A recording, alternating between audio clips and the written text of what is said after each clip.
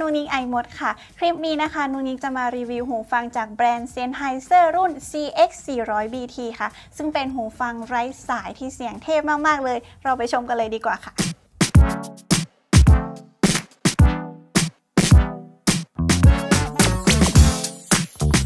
เดี๋ยวเรามาแกะกล่องหูฟังตัวนี้กันเลยค่ะ โดยภายในกล่องนี้ก็จะมีเจ้าตัวหูฟังมาให้เรานะคะ แล้วก็จะมีคู่มือการใช้งานแบบง่าย ๆ คู่มือการใช้งานแบบละเอียดเลย แล้วก็มีจุกหูฟังมาให้เรา 3 คู่ แล้วก็มาพร้อมสาย USB-C สำหรับการชาร์จไฟค่ะ โดยวัสดุของหูฟังตัวนี้นะคะเขาจะเป็นพลาสติกแบบด้านนะคะ ที่เคสของเขาเนี่ยก็จะเป็นลักษณะนี้เลย เปิดฝาขึ้นมาเนี่ยให้ความรู้สึกแบบกระชับอะมันจะไม่แบบก็รู้สึกก๊อกแก๊กนะคะ แล้วก็ด้านหลังเนี่ยเขาก็จะมีปุ่ม แล้วก็มีพอร์ต USB-C สำหรับชาร์จไฟนะคะ ตรงปุ่มเนี่ยเราสามารถกดดูเพื่อ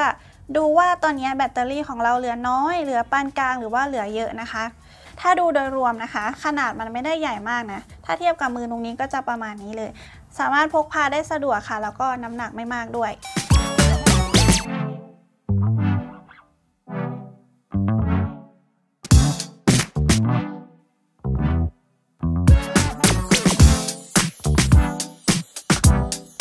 วนวิธีการเชื่อมต่อหูฟังตัวนี้เข้ากับมือถือของเรานะคะ เราก็เปิดเคสชาร์จขึ้นมา แล้วก็สวมใส่หูฟังเข้าไปเลยค่ะ โดยวิธีสวมนะคะ เราก็ใส่เข้าไปในหูก่อน แล้วก็บิดนิดนึงค่ะ ให้มันกระชับพอดีกับหูแบบนี้นะคะ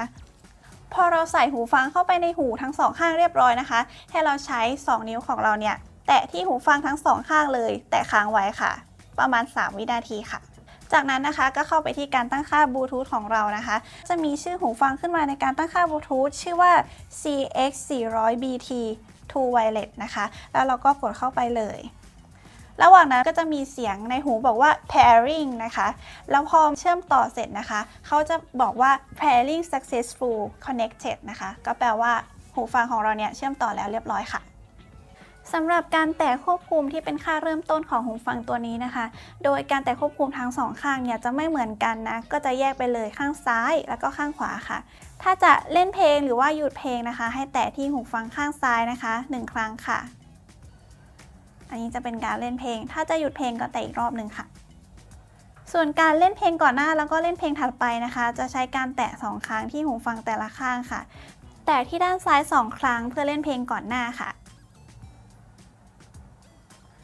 ส่วนการเล่นเพลงถัดไปนะคะ แตะที่หูฟังด้านขวา 2 ครั้งค่ะ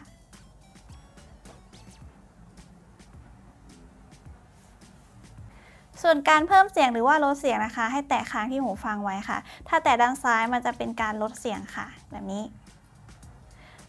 ส่วนการเพิ่มเสียงก็แตะที่ด้านขวาค้างไว้ค่ะ ถ้าเราแตะค้างไว้เรื่อยๆ มันก็จะเพิ่มเสียงดังขึ้นเรื่อย ๆ ค่ะ ส่วนการเรียกผู้ช่วยส่วนตัวอย่างสิรินะคะ ให้แตะที่หูฟังด้านขวาหนึ่งครั้งค่ะ ถ้าเกิดเราอยากจะตั้งค่าการควบคุมตามที่เราถนัดนะคะ ให้เราเข้าไปที่แอป Sennheiser Smart Control นะคะ พอเข้าไปในแอปนะคะ เราต้องทำการเชื่อมต่อหูฟังเข้ากับแอปก่อนอันนี้คือการเชื่อมต่อเรียบร้อยแล้วเนาะส่วนการปรับตั้งค่าหูฟังนะคะ ให้เข้าไปที่ฟันเฟืองด้านขวาบนตรงนี้นะคะ จากนั้นค่ะเข้าไปที่ Control แต่เข้าไปค่ะเขาก็จะมีขึ้นมาแบบนี้เลย เราสามารถเลือกปรับแต่งได้วิธีการเลือกปรับแต่งนะคะ สมมติลูกนี้อยากจะปรับแต่งหูฟังด้านขวาในการแท็บหนึ่งครั้งนะคะให้แตะค้างไว้แบบนี้ค่ะ แล้วก็จะมีคำสั่งขึ้นมาให้เราเลือกปรับเลย สมมติลูกนี้อยากจะเปลี่ยนเป็น แตะด้านขวาหนึ่งครั้ง เพื่อเล่นเพลงถัดไปนูนี้ก็จะเลือกเป็นอันนี้ค่ะ สมมุติว่านุ่นนี้อยากจะเปลี่ยนคำสั่งในการแตะหูฟังข้างขวาเป็นอย่างอื่นนะคะ ให้แตะที่ไอคอนตรงนี้ค้างไว้ 2 วินาทีค่ะ จากนั้นก็เลือกคำสั่งที่เราต้องการเลยค่ะตรงนี้จะเปลี่ยนเป็น next track หรือว่าเล่นเพลงถัดไปนะคะ นี่ค่ะ เราก็สามารถปรับได้ตามที่เราถนัดเลย หรือว่ามันจะมีคำสั่งแตะ 3 ครั้งด้วยนะคะ ซึ่งตอนแรกเขาไม่ได้เซตมาให้เรา เราก็สามารถเซตได้เลยค่ะ หูฟัง Sennheiser รุ่น CX 400 BT นะคะ เข้ามาพร้อม driver dynamic ขนาด 7มิลลิเมตรแล้วก็มาพร้อม Equalizer ที่เราสามารถปรับแต่งได้ค่ะหูฟังตัวนี้ค่ะ เขาไม่มีระบบตัดเสียงรบกวนหรือว่า active noise cancelling นะคะ แต่ด้วยความที่เขามีดีไซน์เป็นแบบ in ear คือแบบสวมเข้าไปในหูเนี่ย ก็จะสามารถตัดเสียงรบกวนรอบด้าน ได้ในระดับหนึ่งค่ะ เช่นเสียงเครื่องปรับอากาศหรือว่าเสียงคนคุยกันแบบเบาๆค่ะ ในเรื่องของแบตเตอรี่นะคะ เฉพาะตัวหูฟังเนี่ยจะสามารถใช้งานได้สูงสุด 7 ชั่วโมงเลย แต่ว่าถ้าเราใช้งานร่วมกับกล่องชาร์จของเขาเนี่ยจะสามารถใช้งานรวมๆได้ถึง 20 ชั่วโมงเลยค่ะ เรื่องคุณภาพของเสียงจะเป็นยังไงนั้นเดี๋ยวให้น้องสันมาเล่าให้ฟังค่ะ